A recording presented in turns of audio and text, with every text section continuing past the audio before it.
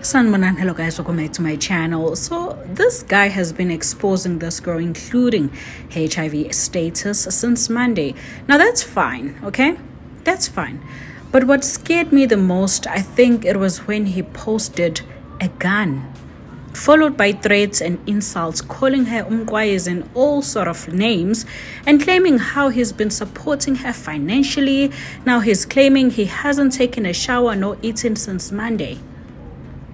Is that normal? Now, guys, people get cheated on, dribbled, played almost every day. But I don't see them acting like this. This is scary. I don't want to lie.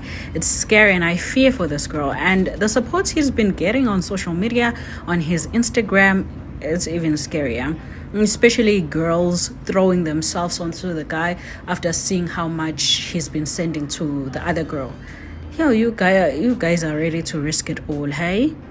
You guys are ready to risk it all honestly.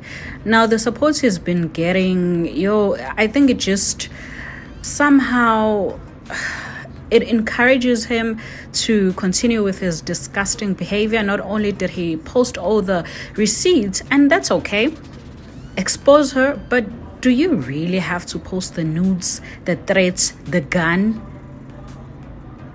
especially the nudes because uh, she sends you in confidence and the gun the threats oh my goodness uh-uh some guys are very scary out there especially those with money because they can yeah now, Amanda Mazane guys have been dribbling guys using fake pregnancies. We know that trick either for love's sake or financial benefits. Either way, it's wrong and that behavior shouldn't be allowed or tolerated. The guy claimed 94% they've been having unprotected sex, but he just did his test and he's negative.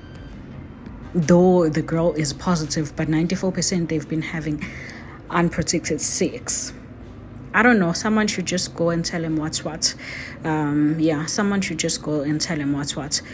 Now, hey, Shem, honestly, this whole story is starting to get scary. Like, it's okay to expose someone for one day, two days, but almost uh, Thursday, namhlanje, this guy started on Monday. And he says he hasn't been eating. You know, when you haven't been eating, you get short tempered. If you own a gun, what's going to happen? So I fear for this girl, Shem. Even though Shem, she dribbled this guy and, and, and, but how many people get dribbled daily and they don't act like this? My guy, honestly, you find it, yes, you find it her financially, you know, but that doesn't mean you own her. If the relationship is over, accept it and move on. That's it. Do let me know, guys, what you think in the comment section down below.